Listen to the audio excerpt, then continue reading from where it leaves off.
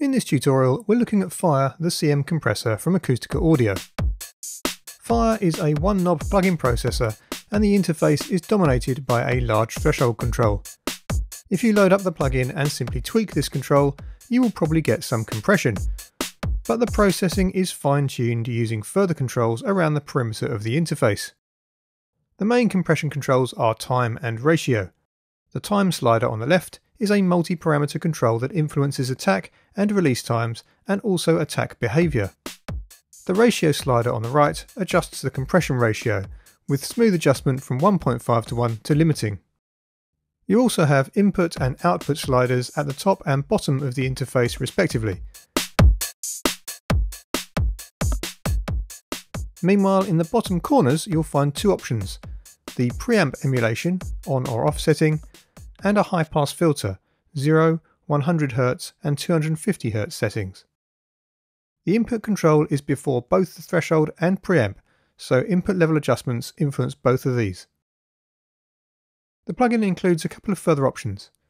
In the top right you'll see a small OVS icon and this accesses the oversampling. By default this is times 1, but you have four further options 2, 4, 8 and 16 times. Finally in the top left the size parameter provides three options for the window, times 1, times 1.5 and times 2. When you first load an instance of Fire, you'll find you have a choice of two plugins.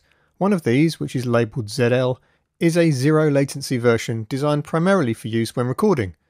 The two plugin versions sound the same, but we will use the regular version as it is more CPU efficient.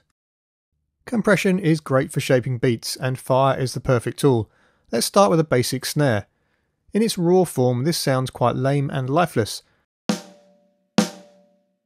Starting from the default settings, we've set the compression ratio to 6 to 1 and the threshold at about minus 40 dB. This adds some compression, but the fun begins when we adjust the time setting. Gradually moving towards the fastest setting adds energy, bringing up the tail of the sound, and we're adjusting the output level to taste. If we go too far, the snare transient suffers.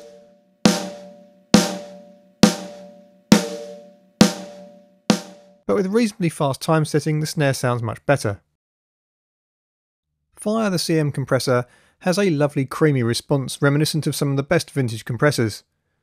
This is suited to traditional drum kit processing tasks such as overheads and room mics. Here we started with the overheads, setting the ratio at about 4 to 1 and time at medium fast for a more punchy outcome.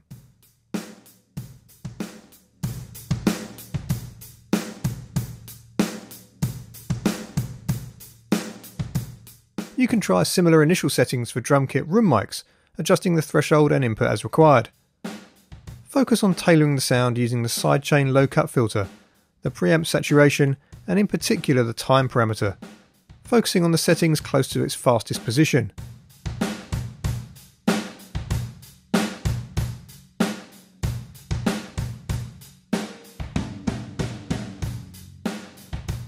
This really brings out the flavour of the room.